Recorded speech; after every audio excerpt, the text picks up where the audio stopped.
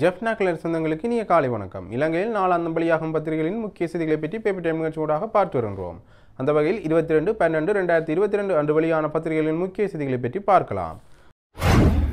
முதலில் உதயன் பத்திரிகையில் அமைந்துள்ள முக்கிய செய்திகளாக காணி விடுவிப்பு அரசியல் கைதிகள் விடுதலை ரணில் அரசாங்கம் பச்சை கொடி.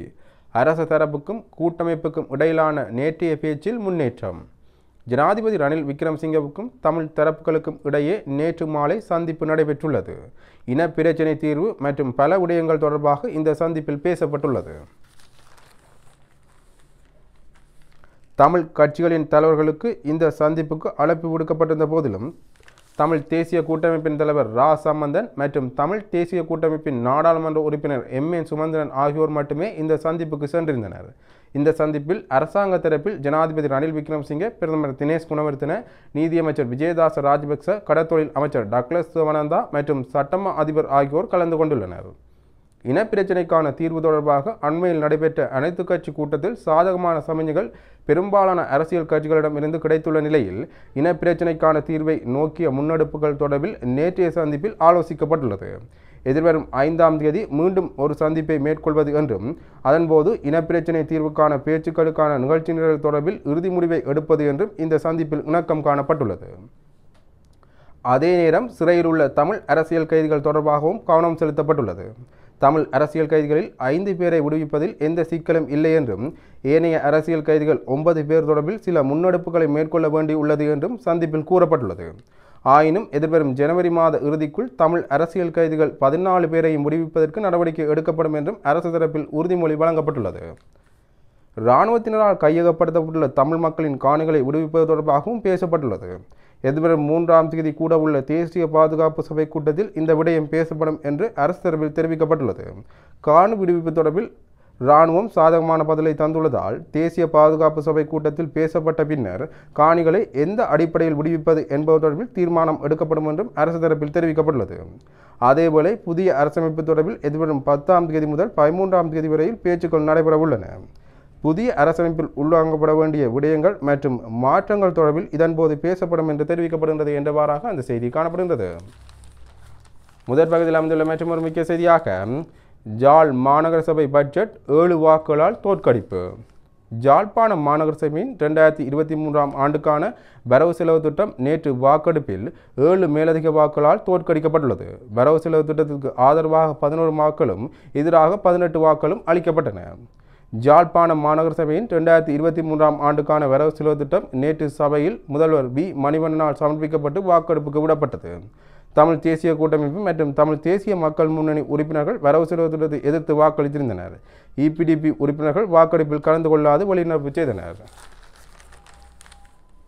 நாற்பத்தைந்து உறுப்பினர்கள் அங்கம் வகிக்கும் ஜாழ்ப்பாணம் மாநகர சபையில் தமிழ் தேசிய கூட்டமைப்பு சார்பில் பதினாறு உறுப்பினர்களும் தமிழ் தேசிய மக்கள் முன்னணியின் சார்பில் பதிமூன்று உறுப்பினர்களும் இபிடிபி சார்பில் பத்து உறுப்பினர்களும் ஐக்கிய தேசிய கட்சி சார்பில் மூன்று உறுப்பினர்களும் ஸ்ரீலங்கா சுதந்திர கட்சி சார்பில் ரெண்டு உறுப்பினர்களும் தமிழர் விடுதலை கூட்டணி சார்பில் ஒரு உறுப்பினரும் அங்கம் வகிக்கின்றனர் என்றவாறாக அந்த செய்தி காணப்படுகின்றது. முதற் பகுதியில் அமைந்துள்ள மற்றொரு முக்கிய செய்தியாக மக்கள் நலனை சிந்திக்காது அரசியல் ரீதியான தீர்மானம். ஜாழ் மாநகர முதல்வர் தெரிவிப்பு. ஜாழ்ப்பாண மாநகர சபையின் ரெண்டாயிரத்தி இருபத்தி மூன்றாம் ஆண்டுக்கான வரவு செலவு திட்டத்தில் திருத்தங்கள் மேற்கொள்வதற்கு எதுவும் இல்லை. அனைவரது கோரிக்கைகளும் உள்வாங்கப்பட்டு சமர்ப்பிக்கப்பட்டே வரவு செலவு திட்டம் தயாரிக்கப்பட்டுள்ளது. ஆனாலும் வரவு செலவு திட்ட வாக்கெடுப்பில் தோற்கடிக்கப்பட்டமைக்கு அரசியல் ரீதியான தீர்மானங்களே காரணம். இவ்வாறு ஜாழ்ப்பாண மாநகர சபை முதல்வர் வி மணிவண்ணன் தெரிவித்துள்ளார். ஜாழ்ப்பாணம் மாநகர சபையின் ரெண்டாயிரத்தி இருபத்தி மூன்றாம் ஆண்டுக்கான வரவு செலவு திட்டம் நேற்று ஏழு மேலதிக வாக்குகளால் தோற்கடிக்கப்பட்டது. அதன் பின்னர் ஊடகங்களுக்கு கருத்து தெரிவித்த போதே ஜாழ்ப்பாணம் மாநகர சபை முதல்வர் மேற்கண்டவாறு தெரிவித்தார். அவர் மேலும் தெரிவித்ததாவது இன்று சபை அமர்வுக்கு முப்பத்தி நாறு உறுப்பினர்கள் வந்திருந்தனர். வாக்கெடுப்பு பகிரங்கமாக நடத்தப்பட்டது. தமிழ் தேசிய கூட்டமைப்பின் உறுப்பினர்கள் பதினெட்டு பேரும் எதிர்த்து வாக்களித்தனர். பதினோரு உறுப்பினர்கள் வரவு செலவு திட்டத்துக்கு ஆதரவாக வாக்களித்தனர். இபிடிபி உறுப்பினர்கள் வாக்கெடுப்பில் கலந்து கொள்ளாது வழிநடப்பு செய்திருந்தனர். அனைவரது கருத்துக்களும் உள்வாங்கப்பட்டே வரவு செலவு திட்டம் முன்வைக்கப்பட்டுள்ளது. வரவு செலவு திட்டம் தயாரிப்பதற்கான விசேட கூட்டம் நடத்தப்பட்டது. அந்த கூட்டத்திற்கு அனைத்து உறுப்பினர்களுக்கும் அழைப்பு விடுக்கப்பட்டது. அனைவரது கருத்துக்களும் உள்வாங்கப்பட்டன. தமிழ் தேசிய கூட்டமைப்பின் உறுப்பினர்கள் இருவர் முன்வைத்திருந்த கோரிக்கைகளும் அதில் உள்வாங்கப்பட்டுள்ளன. இந்த வரவு செலவு திட்டத்தில் இனிமேல் திருத்தங்கள் மேற்கொள்வதற்கு எதுவும் இல்லை அதனால் வரவு செலவு திட்டம் தோற்கடிக்கப்பட்டமைக்கு அதை காரணமாக கூற முடியாது. அனைவரது கோரிக்கைகளும் நிறைவேற்றப்பட்ட பின்னரும் வரவு செலவு திட்டம் தோற்கடிக்கப்பட்டுள்ளமை உறுப்பினர்களும் அரசியல் கட்சிகளும் தங்களின் தனிப்பட்ட விருப்பு வெறுப்புகளுக்கு அமைய தீர்மானம் எடுத்துள்ளதையே காட்டுகின்றது. இந்த வரவு செலவு திட்டத்தை எதிர்த்தமைக்கான காரணத்தை எதிர்த்து வாக்களித்தவர்களே கூற வேண்டும் என்று அவர் குறிப்பிட்டுள்ளார் என்றவாறாக அந்த செய்தி தொடர்ந்து செல்கின்றது. முதற் பகுதியில் அமைந்துள்ள மற்றொரு முக்கிய செய்தியாக ஆறு மாதத்தின் பின்னரே உள்ளூராட்சி தேர்தல். அடுத்த வருடம் மார்ச் மாதம் நடத்தப்பட வேண்டிய உள்ளூராட்சி சபை தேர்தலுக்கான வேட்புமனுக்கள் இப்போது கோரப்பட்டாலும் கூட தேர்தல் ஆறு மாதங்களுக்கு பின்பே நடத்தப்படும் என்று அரசாங்க தரப்புகளிலிருந்து தகவல்கள் வெளியாகியுள்ளது. எட்டாயிரமாக இருக்கும் உறுப்பினர்களின் எண்ணிக்கையை நாலாயிரமாக அல்லது ஐந்தாயிரமாக குறைக்கும் நோக்கில் எல்லை நிர்ணய குழு ஒன்று நியமிக்கப்பட்டுள்ளது. அந்த குழுவின் அறிக்கை கிடைப்பதற்கு ஒரு சில மாதங்கள் எடுக்கும் என்பதால் ஆறு மாதங்களுக்கு தேர்தலை ஒத்தி போடுவதற்கு அரசு தரப்பு தீர்மானித்துள்ளது. இதேவேளை தேர்தலை ஓரிரு மாதங்களுக்கு ஒத்திவைக்க வேண்டும் என்று மொட்டு கட்சி உள்ளூராட்சி சபைகளின் தலைவர்களும் ஜனாதிபதி ரணில் விக்ரமசிங்கவிடம் கோரிக்கை விடுத்துள்ளனர். இந்த தேர்தலில் பிரதானமாக ஐந்து கூட்டணிகள் களமுறங்குவதற்கு தீர்மானித்துள்ளன. மொட்டு ஐக்கிய தேசிய கட்சி ஐக்கிய மக்கள் சக்தி ஸ்ரீலங்கா சுதந்திர கட்சி ஜேவிபி ஆகிய கட்சிகளின் தலைமையிலேயே இந்த கூட்டணிகள் உருவாகியுள்ளன. சிலவேளை இந்த கூட்டணிகள் மூன்றாக மாறுவதற்கும் வாய்ப்புட்டு என்று கூறப்படுகின்றது. அதாவது மொட்டு ஐக்கிய தேசிய கட்சி கூட்டணி மற்றும் ஐக்கிய தேசிய மக்கள் சக்தி சுதந்திர கட்சி கூட்டணி ஆகியவை உள்வாங்க உருவாவதற்கு வாய்ப்புண்டு. அவ்வாறு உருவானால் கூட்டணிகள் மூன்றாக மாறும் என்றும் கூறப்படுகின்றது என்றவாறாக அந்த செய்தி காணப்படுகின்றது. முதற் பக்கத்தில் அமைந்துள்ள மற்றும் ஒரு முக்கிய செய்தியாக மழை தொடரும். வங்காள விரிகுடாவில் இலங்கைக்கு தென்கிழக்கே உருவாகிய தாளமுக்கம் வடமேற்கு திசை நோக்கி நகர்வதால் வடக்கு மற்றும் கிழக்கு மாநிலத்தின் பல பகுதிகளுக்கும் பரவலாக கனமானது முதல் மிக கனமானது வரை மழை கிடைக்க வாய்ப்புள்ளது என்று எதிர்ப்பு கூறப்பட்டுள்ளது. அம்பாறை மட்டக்களப்பு திருகோணமலை மற்றும் முல்லைத்தீவு மாவட்டங்களின் பல பகுதிகளுக்கும் கனமழை கிடைக்க வாய்ப்புள்ளது. இந்த நிலைமை எதிர்வரும் இருபத்தாறாம் தேதி வரை நீடிக்கும் என்று எதிர்ப்பு கூறப்பட்டுள்ளது என்றவாறாக அந்த செய்தி காணப்படுகின்றது. முதற் பக்கத்தில் அமைந்துள்ள மற்றும் ஒரு முக்கிய செய்தியாக தமிழர் பிரச்சனையை தீர்க்காது அரசியல் தீர்வை பெற முடியாது. ஜனாதிபதி ரணில் தெரிவிப்பு. தமிழர்களின் அடிப்படை பிரச்சனைகளை தீர்க்காமல் அரசியல் தீர்வை காண முடியாது. குறிப்பிட்ட கால வரையறைக்குள் தமிழர்களின் அடிப்படை பிரச்சனைகளை தீர்த்து அரசியல் தீர்வை காண்பதே எமது நோக்கம். இவ்வாறு ஜனாதிபதி ரணில் விக்ரம்சிங்கே குறிப்பிட்டுள்ளார். இது தொடர்பில் அவர் மேலும் தெரிவித்ததாவது தேசிய இனப்பிரச்சினைக்கு தீர்வு காணும் பேச்சுக்கள் சுமூகமாக ஆரம்பமாகியுள்ளன. தமிழர் தரப்பின் கோரிக்கைகள் சாதகமாக பரிசீலிக்கப்படுகின்றன. சம்பந்தன் சுமந்திரன் விக்னேஸ்வரன் போன்ற தமிழ் நாடாளுமன்ற உறுப்பினர்கள் என்னிடம் முன்வைத்த கோரிக்கைகளை படிப்படியாக நிறைவேற்ற நடவடிக்கை எடுத்துள்ளோம். இந்த விவா இந்த விவகாரத்துடன் தொடர்பட்ட அமைச்சர்கள் மற்றும் அதிகாரிகளை தமிழ் தரப்பினருடன் கலந்துரையாட வழியமைத்துள்ளேன். தமிழர்களின் அடிப்படை பிரச்சனைகளை தீர்க்காமல் அரசியல் தீர்வை காண முடியாது. எனவே குறிப்பிட்ட கால வரையறைக்குள் தமிழர்களின் அடிப்படை பிரச்சனைகளை தீர்த்து அரசியல் தீர்வை காண்பதே எனது நோக்கம். பிறக்கும் புத்தாண்டு நல்லதொரு ஆண்டாக அனைத்து பிரச்சனைகளுக்கும் தீர்வு காணும் ஆண்டாக அமையும் என நம்புகின்றேன் என்று அவர் குறிப்பிட்டுள்ளார் என்றவாறாக அந்த செய்தி காணப்படுகின்றது. முதற் பகுதியில் அமைந்துள்ள மற்றும் ஒரு முக்கிய செய்தியாக ஜால் பல்கலைக்கழகத்தில் பரீட்சை நடத்த தவறியோர் தண்டனையுடன் மீளிணைப்பு பேரவை தீர்மானம். ஜால் பல்கலைக்கழக கலைப்பிட மாணவர்களுக்கு உரிய நடைமுறைகளை பின்பற்றாமல் பரீட்சையை ஒத்திவைத்த காரணத்துக்காக விசாரணைகள் நிறைவடையும் வரையில் இடைநிறுத்தப்பட்டிருந்த துறைத் தலைவர் மூத்த விரிவுரையாளர் மற்றும் நிர்வாக அதிகாரி ஆகியோரை பல்கலைக்கழக நடைமுறைகளுக்கு அமைவாக தண்டனையுடன் மீளவும் சேவையில் இணைப்பதற்கு பல்கலைக்கழக பேரவை தீர்மானித்துள்ளது. கடந்த திங்கட்கிழமை மாலை இடம்பெற்ற விசேட பேரவை கூட்டத்தில் இவ்விடயம் தொடர்பாக சமர்ப்பிக்கப்பட்ட விசாரணை அறிக்கையை ஆராய்ந்த பின்னரே இந்த தீர்மானம் நிறைவேற்றப்பட்டுள்ளது. கலைப்பிட மாணவர்களுக்கு கடந்த செப்டம்பர் மாதம் பரீட்சை நடைபெறும் என்று திகதி குறிக்கப்பட்டு அறிவிக்கப்பட்ட பின்னர் அன்றைய தினம் வினாத்தாள்கள் தயார் செய்யப்படாததால் பரீட்சை நடைபெறவில்லை. இது தொடர்பில் மூதவையால் நியமிக்கப்பட்ட விசாரணை குழுவின் பரிந்துரையின் அடிப்படையில் பேரவையால் இருவர் கொண்ட ஆரம்பகட்ட விசாரணை குழு அமைக்கப்பட்டிருந்தது இந்த விசாரணை குழு கடந்த வாரம் வரை விசாரணைகளை மேற்கொண்டு பேரவைக்கு அறிக்கையை சமர்ப்பித்திருந்தது. அந்த அறிக்கையின் அடிப்படையில் விடயங்களை ஆராய்ந்த பேரவை பரீட்சை கடமைகளை தவறிய காரணத்துக்காக பல்கலைக்கழக நடைமுறைகளின்படி குறிப்பிட்ட காலத்துக்கு பரீட்சை நடவடிக்கையில் ஈடுபடுவதற்கு சம்பந்தப்பட்ட விரிவுரையாளருக்கு தடை விதித்ததுடன் நிர்வாக பதவிகளில் தெரிவு செய்யப்பட்டமையை கருத்தில் கொள்ளக்கூடாது என தீர்மானிக்கப்பட்டுள்ளது. நிர்வாக அதிகாரிக்கு இடமாற்றம் வழங்கப்படலாம் எனவும் பேரவை பரிந்துரை செய்துள்ளது என்றவாறாக அந்த செய்தி காணப்படுகின்றது. முதற் பகுதியில் அமைந்துள்ள மற்றொரு முக்கிய செய்தியாக ஆலியவளை கடற்கரையில் சிதிலமடைந்த சடலம் மீட்பு. வடமராட்சி ஆலியோடை கடற்கரையில் சிதிலமடைந்த நிலையில் சடலம் ஒன்று நேற்று கரையொதுங்கியுள்ளது. சடலத்தின் முகம் முழுவதும் சிதைவடைந்து மண்டையோடு மட்டுமே எஞ்சியுள்ளதால் சடலத்தை இனங்காண முடியாதுள்ளது என்று தெரிவிக்கப்படுகின்றது. இந்த சம்பவம் தொடர்பாக மருதங்கனி போலீசார் விசாரணைகளை முன்னெடுத்துள்ளனர் என்றவாறாக அந்த செய்தி காணப்படுகின்றது. உதயன் பத்திரிகையின் இரண்டாம் பகுதியில் அமைந்துள்ள முக்கிய செய்திகளாக அரசமைப்பு பேரவை இனவாதத்தை உடைத்தறிய கூட்டமைப்புடன் இணைவோம். மெனோகனேசன் தெரிவிப்பு. அரசமைப்பு பேரவையின் தமிழ் நாடாளுமன்ற உறுப்பினர்கள் புறக்கணிக்கப்பட்டால் அந்த உச்சகட்ட இனவாத செயற்பாட்டுக்கு எதிராக கூட்டமைப்புடன் இணைந்து இரட்டை குழல் துப்பாக்கி போன்று செயற்படுவோம். இவ்வாறு தமிழ் முற்போக்கு கூட்டணியின் தலைவரும் நாடாளுமன்ற உறுப்பினருமான மெனோ கணேசன் தெரிவித்துள்ளார். இது அவர் அனுப்பிவத்துள்ள ஊடக அறிக்கையில் மேலும் உள்ளதாவது அரசமைப்பு பேரவையில் நியமிக்கப்பட உள்ள ஏழு உறுப்பினர்களுக்கான நியமனங்களில் ஐந்து சிங்கள நாடாளுமன்ற உறுப்பினர்களும் ஒரு முஸ்லீம் நாடாளுமன்ற உறுப்பினரும் பெயரிடப்பட்டுள்ளனர். இறுதி உறுப்பினராக ஒரு தமிழ் நாடாளுமன்ற உறுப்பினர் இருக்க வேண்டும் என்பது மிக மிக நியாயமான ஒரு எதிர்பார்ப்பு. ஆனால் இதையும் கூட தட்டி பறிக்க உதய விமல் வீரவன்ஸ் ஆகியோரின் உத்தர சபை கட்சி முயல்கின்றது.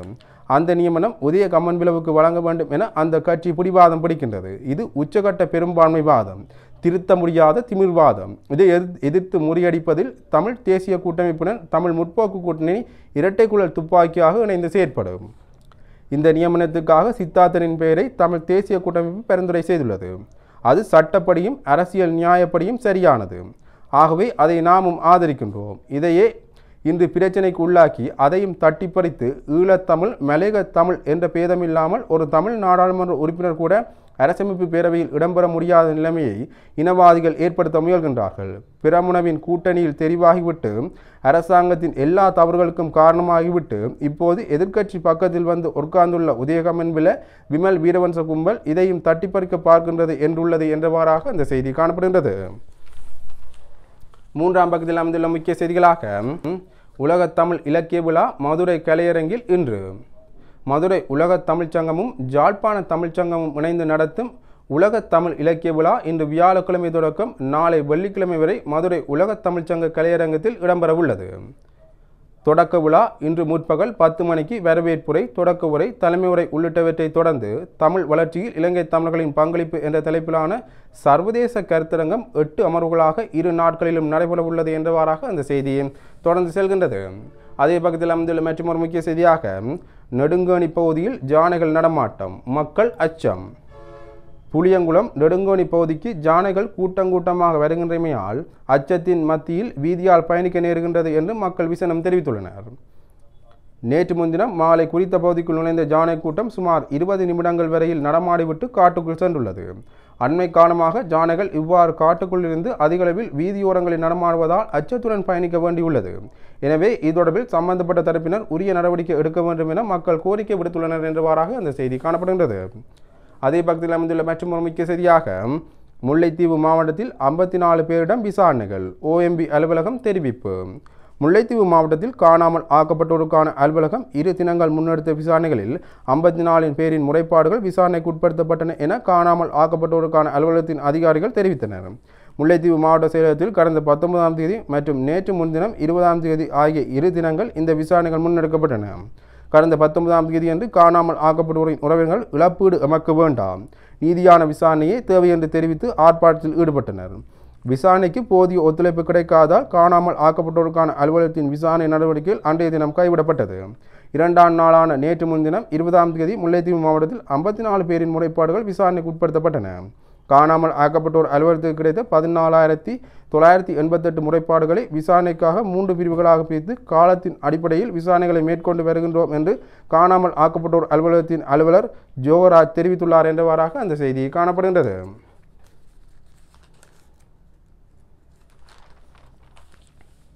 உதயன் பத்திரிகையின் ஐந்தாம் பகுதியில் அமைந்துள்ள முக்கிய செய்திகளாக போதைப்பொருள் ஒழிப்பு புத்தகப்பை சோதனைக்கு பாடசாலைகளில் குழு கல்வி அமைச்சு தீர்மானம். பாடசாலை மாணவர்களின் புத்தகப்பைகளை சோதிக்கும் செயற்பாட்டுக்கென ஒவ்வொரு பாடசாலைகளிலும் குழு ஒன்றை நியமிக்க தீர்மானிக்கப்பட்டுள்ளது என கல்வி அமைச்சு தெரிவித்துள்ளது. மாணவர்களிடையே போதைப்பொருள் பாவனையை கட்டுப்படுவதற்கு எடுக்க வேண்டிய நடவடிக்கைகள் தொடர்பில் கல்வி அமைச்சர் சுசில் பிரேமஜெயந்த தலைமையில் இடம்பெற்ற கலந்துரையாடலின் போதே இந்த விடயம் தீர்மானிக்கப்பட்டுள்ளது. இந்த குழுவின் பாடசாலை ஆசிரியர்கள் மாணவ தலைவர்கள் மற்றும் பாடசாலை அபிவிருத்தி சங்க உறுப்பினர்கள் உள்வாங்கப்பட வேண்டும் என கல்வி அமைச்சு குறிப்பிட்டுள்ளது. போதைப்பொருள் பாவனையில் ஈடுபடுபவர்களை அடையாளம் காணுதல் மற்றும் அவர்கள் தொடர்பில் எடுக்கப்பட வேண்டிய நடவடிக்கைகள் குறித்து ஆசிரியர்களை தெளிவுபடுத்துவதற்கான விசேட வேலைத்திட்டங்களை தொடர்ச்சியாக முன்னெடுக்கவும் பாடசாலை சூழலை மாணவர் நீல சூழலாக பேணுவதற்கு நடவடிக்கை எடுக்கப்பட வேண்டும் எனவும் இதன்போது சுட்டிக்காட்டப்பட்டுள்ளது என்றவாறாக அந்த செய்தி தொடர்ந்து செல்கின்றது. அதே பக்கத்தில் அமைந்துள்ள மற்றும் ஒரு முக்கிய செய்தியாக பயணிகள் கப்பல் சேவைக்கு பாதுகாப்பு அமைச்சு அனுமதி. இலங்கை இந்தியா இடையிலான பயணிகள் கப்பல் சேவையை முன்னெடுப்பதற்கு பாதுகாப்பு அமைச்சு அனுமதி வழங்கியுள்ளது. இலங்கை மற்றும் இந்தியா இடையிலான பயணிகள் கப்பல் சேவை எதிர்வரும் ஜனவரி மாதத்தின் நடுப்பகுதியில் ஆரம்பிக்கப்பட உள்ளதாக இந்திய ஊடகங்கள் செய்தி வெளியிட்டுள்ளன. இந்த பயணிகள் கப்பல் சேவை காங்கிரஸ் துறை மற்றும் பாண்டிச்சேரி இடையே முன்னெடுக்கப்பட உள்ளது. ஒரு பயணத்தின் போது முன்னூறு முதல் நானூறு வயதிலான பயணிகளை ஏற்றிச் செல்ல முடியும். பயணி ஒருவரிடம் இருந்து அறுபது டாலருக்கு நிகரான கட்டணத்தை வசூலிக்குமாறு முன்மொழியப்பட்டுள்ளது என்றவாறாக அந்த செய்தி காணப்படுகின்றது. இவை உதயன் பத்திரிகையில் அமைந்த முக்கிய செய்திகள். இனி தினக்குழல் பத்திரிகையின் முக்கிய செய்திகளை பற்றி பார்க்கலாம். தினக்குள் பத்திரிகையின் முதற் பகுதியில் அமைந்துள்ள முக்கிய செய்திகளாக ஒருபுறம் பேச்சுவார்த்தை மறுபுறம் நில ஆக்கிரமிப்பு. முல்லைத்தீவில் பல வழிகளிலும் தொடரும் நில ஆக்கிரமிப்பு. இனப்பிரச்சினைக்கு தீர்வு காண்பதற்கான பேச்சுவார்த்தைகளில் அரசு தமிழ் தரப்பினர் முனைப்புடன் இருப்பதான தோற்றத்தை வெளிப்படுத்தி வரும் அதே நேரம் முல்லைத்தீவில் பல வழிகளில் தமிழர் நில ஆக்கிரமிப்பு முயற்சிகள் தீவிரமாக இடம்பெற்று வருகின்றன. முல்லைத்தீவு மாவட்டத்தின் கொக்கு தொடுவாய் மத்தி எனப்படும் தமிழ் மக்களுக்கு சொந்தமான பூர்வீக காணிகளை ஆக்கிரமிக்கும் நோக்குடன் பென ஜீவராசிகள் திணைக்களம் கடந்த சில நாட்களுக்கு முன்னரும் நடவடிக்கைகளை முன்னெடுத்தது. பென ஜீவராசிகள் திணைக்களத்தின் வேண்டுகோளுக்கு இணங்க பெலிஓயா பகுதியில் உள்ள நில அளவை திணைக்களத்தினர் கொக்கு தொடுவாய் பகுதிக்கு வந்து தமிழ் மக்களின் நாலு கிலோமீட்டருக்கு மேற்பட்ட பூர்வீக இடங்களை ஆக்கிரமித்து எல்லை கற்களை நாட்டியுள்ளனர்.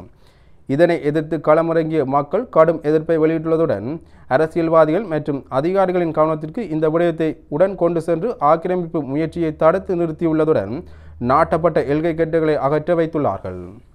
முல்லைத்தீவு மாவட்டத்தின் கொக்கு தொடுவாய் பிரதேசத்துக்கு உட்பட்ட கோட்டைக்கேணி பிள்ளையார் கோவில் அம்பட்டன் வாய்க்கால் வெள்ளையடி கல்லடி குஞ்சு கால்வழி சிவந்தா முறிப்பு போன்ற பகுதிகளில் இவ்வாறு காணிகள் ஆக்கிரமிக்கப்பட்டு எல்லை கற்கள் நாட்டப்பட்டுள்ளன. இந்த சம்பவம் குறித்து முன்னாள் வடமாகாண சபை உறுப்பினர் ரவிகரிடம் மக்கள் முறையிட்டதைத் தொடர்ந்து இந்த விடயம் மாவட்ட அரசு திணைக்கள அதிகாரிகளின் கவனத்திற்கு கொண்டு செல்லப்பட்டது. இந்நிலையில் கடந்த பத்தொன்பதாம் தேதி கரைதுறை பெற்று பிரதேச செயலக உத்தியோகத்தர்கள் மற்றும் காணி பகுதி உத்தியோகத்தர்கள் கிராம சேவையாளர்கள் ஆகியோர் சம்பவ இடத்திற்கு சென்றனர்.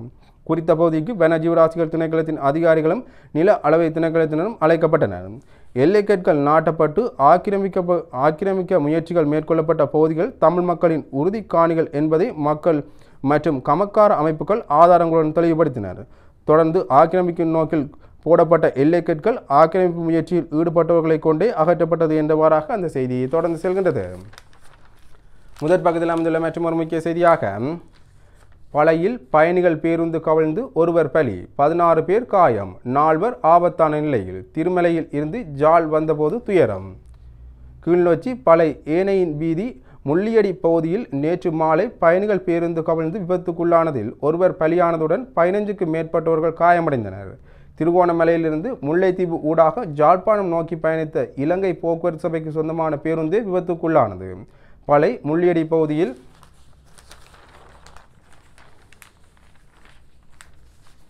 ஏனையின் வீதியில் வேக கட்டுப்பாட்டை இழந்த பேருந்து சுமார் நூறு மீட்டர் வரை இழுத்துச் செல்லப்பட்டு கவிழ்ந்து இதில் பேருந்தில் பயணித்த ஒருவர் பலியானதுடன் பதினாறு பேர் காயமடைந்தனர். கடுமையான காயங்களுக்கு உள்ளான பலர் பழைய வைத்தியசாலையிலிருந்து கிளிநொச்சி மாவட்ட வைத்தியசாலைக்கு நோயாளர் காவு வண்டிகளில் மேலதிக சிகிச்சைக்காக அனுப்பி வைக்கப்பட்டனர். இலங்கை போக்குவரத்து சபைக்கு சொந்தமான பேருந்துகள் இரண்டு போட்டி போட்டுக்கொண்டு வேகமாக பயணம் செய்ததன் காரணமாகவே வேக கட்டுப்பாட்டு இழந்து இந்த விபத்து இடம்பெற்றதாக வீதியில் பயணித்தவர்கள் தெரிவித்தனர். மேலதிக விசாரணைகளை பழைய போலீசார் மேற்கொண்டு வருகின்றனர் என்றவாறாக இந்த செய்தி காணப்படுகின்றது. முதற் பகுதியில் அமைந்துள்ள மற்றும் ஒரு முக்கிய செய்தியாக பதினோரு இந்திய மீனவர்கள் பருத்தித்துறையில் கைது. இலங்கை கடற்பரப்புக்குள் அத்துமீறி மீன்பிடியில் ஈடுபட்ட குற்றச்சாட்டில் பதினோரு இந்திய மீனவர்கள் கைது செய்யப்பட்டுள்ளனர்.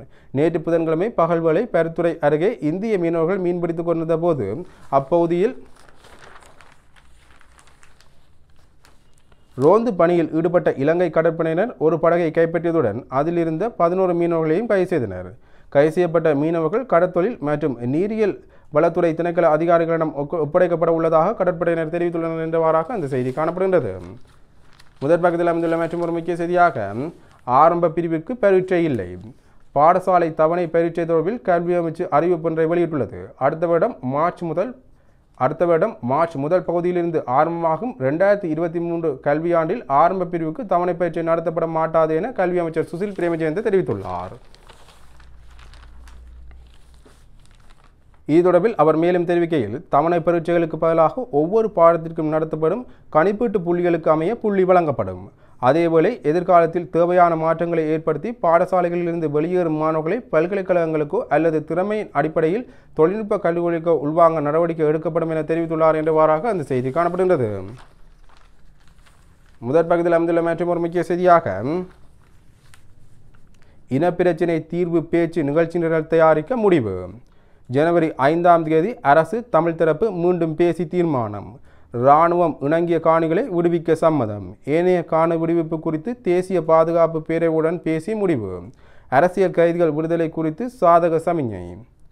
ஜனவரி மாதம் ஐந்தாம் தேதி மீண்டும் தமிழ் தேசிய கட்சிகளின் தலைவர்களை சந்தித்து அரசியல் தீர்வுக்கான நிலையை தயாரிப்பதற்கு அரசாங்கம் முணங்கியுள்ளது அத்துடன் தமிழ் அரசியல் கைதிகளின் விடுதலை மற்றும் இராணுவத்தின் கட்டுப்பாட்டில் இருக்கும் தமிழ் மக்களின் காணி விடுவிப்பில் உடனடி கவனம் செலுத்துவதற்கு அரசாங்கம் உடன்பட்டுள்ளது. ஜனாதிபதி ரணில் விக்ரமசிங்கவுக்கும் தமிழ் கட்சிகளின் தலைவர்களுக்கும் இடையில் நேற்று மாலை நடைபெற்ற விசேட சந்திப்பின் போதே மேற்படி உறுதிமொழிகள் அரசாங்கத்தினால் வழங்கப்பட்டன. இந்த சந்திப்பில் அரசாங்க தரப்பில் ஜனாதிபதி ரணில் விக்ரமசிங்கே பிரதமர் தினேஷ் குணவர்த்தன நீதியமைச்சர் விஜயதாச ராஜபக்சே வெளிவார அமைச்சர் அலி சப்ரி சட்டமா அதிபர் ஆகியோர் கலந்து கொண்டனர். தமிழ் தரப்பில் கூட்டமைப்பின் தலைவர்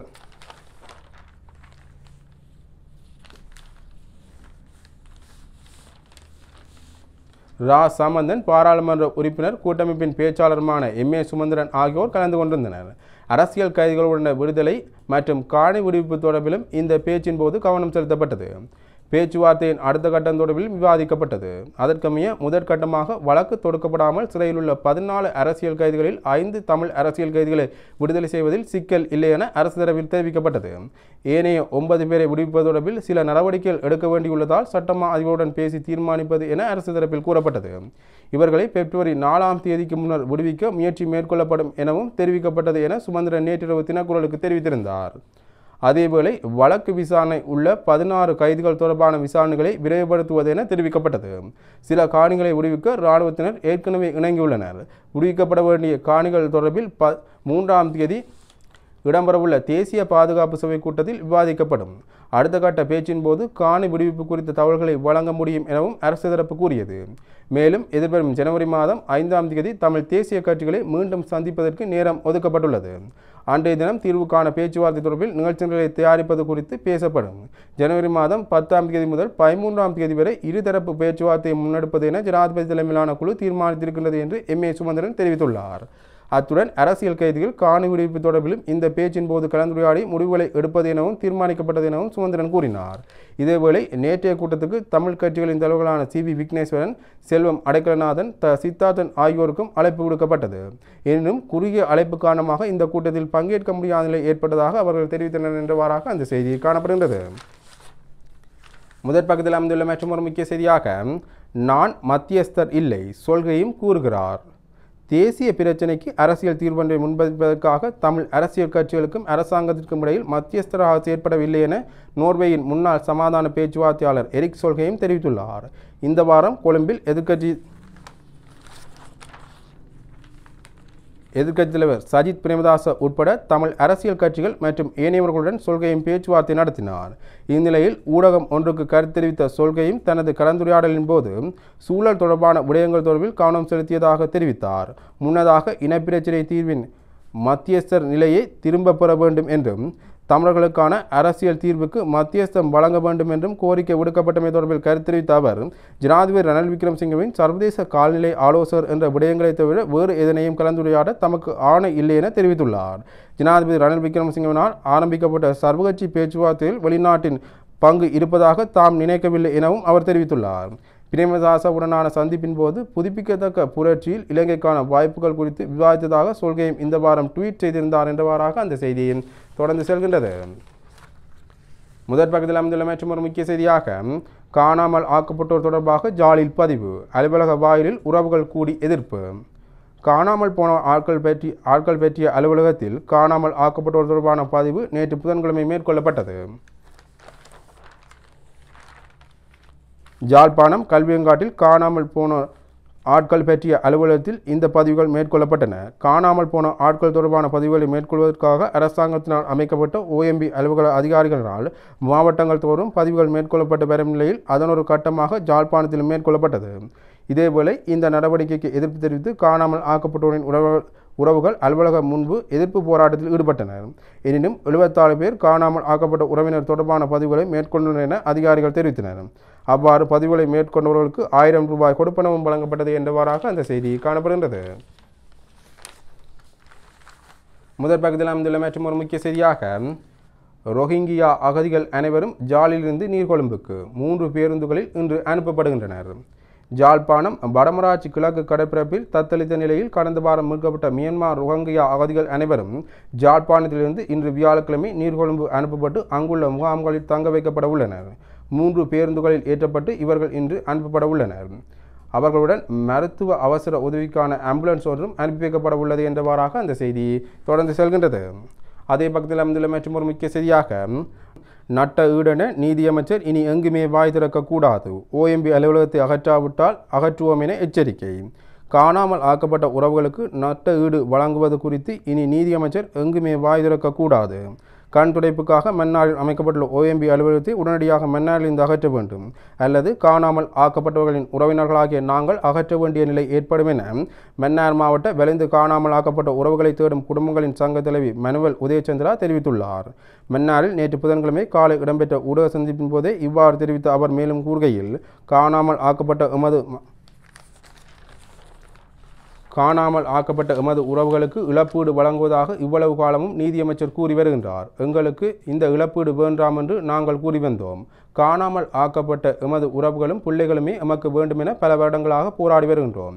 அரசாங்கத்திடம் பல தடவைகள் பேசியும் எந்தவித நடவடிக்கைகளும் மேற்கொள்ளவில்லை. இழப்பீட்டை வழங்கி எங்களை திசை திருப்ப பார்க்கின்றனர்.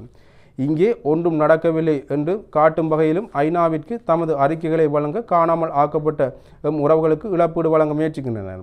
நாங்கள் இழப்பீட்டுக்காக இவ்வளவு காலம் போராடவில்லை. எமது உறவுகளுக்காகவும் அத்தனை உயிர்களுக்காகவுமே நாங்கள் போராடி வருகின்றோம். எமது பிள்ளைகளுக்கும் உறவுகளுக்கும் என்ன நடந்தது என்று முதலில் கூறுங்கள். காணாமல் ஆக்கப்பட்டோர் அலுவலகம் பற்றி கதைக்கின்றார்கள். நஷ்ட ஈடு பற்றி கதைக்கின்றார்கள். மரண சான்றிதழ் வழங்குவதாக கூறுகின்றார்கள். நாங்கள் எதையும் கேட்கவில்லை என்று அவர் குறிப்பிட்டுள்ளார் என்றவாறாக அந்த செய்தியின் தொடர்ந்து செல்கின்றது. முதற் பகுதியில் அமைந்துள்ள மற்றும் ஒரு முக்கிய செய்தியாக ஐந்து நாட்களுக்கு மின்வெட்டு இல்லை. பண்டிகை காலத்தை முன்னிட்டு சில நாட்களுக்கு மின்வெட்டை நிறுத்த தீர்மானிக்கப்பட்டுள்ளதாக மின்சார அமைச்சர் காஞ்சன விஜயசேகர தெரிவித்துள்ளார். நேற்று இடம்பெற்ற ஊடகவியலாளர் சந்திப்பில் கலந்து கொண்டு கருத்து தெரிவிக்கும் போதே அமைச்சர் இதனை தெரிவித்துள்ளார். அதன்படி வரும் இருபத்தி நாலு இருபத்தைந்து இருபத்தாறு ஆகிய மூன்று நாட்களில் மின்வெட்டு மேற்கொள்ளப்படாது என அமைச்சர் தெரிவித்துள்ளார். இதேபோல ரெண்டாயிரத்தி இருபத்தி ரெண்டு டிசம்பர் முப்பத்தொன்று மற்றும் ரெண்டாயிரத்தி இருபத்தி மூன்றாம் ஆண்டு ஜனவரி முதலாம் தேதிகளில் மின்வெட்டு மேற்கொள்ளப்படாது எனவும் அவர் மேலும் தெரிவித்துள்ளார். இதேபோல ஜனவரி மாதத்தில் ரெண்டு மணித்தியாலம் மற்றும் இருபது நிமிடங்களுக்கு மாத்திரமே மின்வெட்டினை அமல்படுத்த திட்டமிட்டுள்ளதாக அமைச்சர் தெரிவித்துள்ளார் என்றவாறாக அந்த செய்தி காணப்படுகின்றது. அதே பக்கத்தில் அமைந்துள்ள மற்றும் ஒரு முக்கிய செய்தியாக ஜனவரியில் மின் கட்டணம் உயரும். மின்சக்தி அமைச்சர் தெரிவிப்பு. எதிர்வரும் ஜனவரி மாதம் கட்டாயம் மின் கட்டணத்தை அதிகரிப்பதற்கு நடவடிக்கை எடுக்கப்படும் என பத்து மணித்தியால் மின்வெட்டு ஏற்படும் என்பதில் எவ்வித உண்மையுமில்லை என மின்சக்தி மற்றும் எரிசக்தி அமைச்சர் காஞ்சன் விஜயசேகர தெரிவித்துள்ளார். நேற்று புதன்கிழமை அமைச்சில் இடம்பெற்ற விசேட ஊடக சந்திப்பிலே அவர் இவ்வாறு தெரிவித்துள்ளார். மின்கட்டணை திருத்துவதற்கான தேவை தேவையான சட்ட அதிகாரம் வழங்கப்பட்டுள்ளது. சட்ட அதிகாரத்துக்கான அனுமதியை சட்ட அதிபர் அமைச்சரவைக்கு வழங்கியுள்ளார். மின் கட்டணத்தை அதிகரிப்பதற்கு மின்சக்தி அமைச்சர் என்ற வகையில் சட்டத்தின் அதிகாரத்தின்படி தேவையான சட்ட பணிகளை மேற்கொண்டு வருகின்றேன்.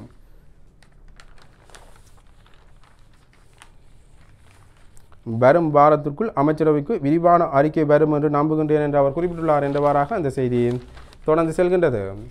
இவை தினக்குள் பத்திரிகையில் அமைந்த முக்கிய செய்திகள். இன்று வெளியான பத்திரிகைகளின் முக்கிய செய்திகளை பற்றி பார்த்தோம். தொடர்ந்தும் பத்திரிகை செய்திகளை அறிந்து கொள்ள பேப்பிட்ட நிகழ்ச்சியுடன் இணைந்திருங்கள். நன்றி வணக்கம்.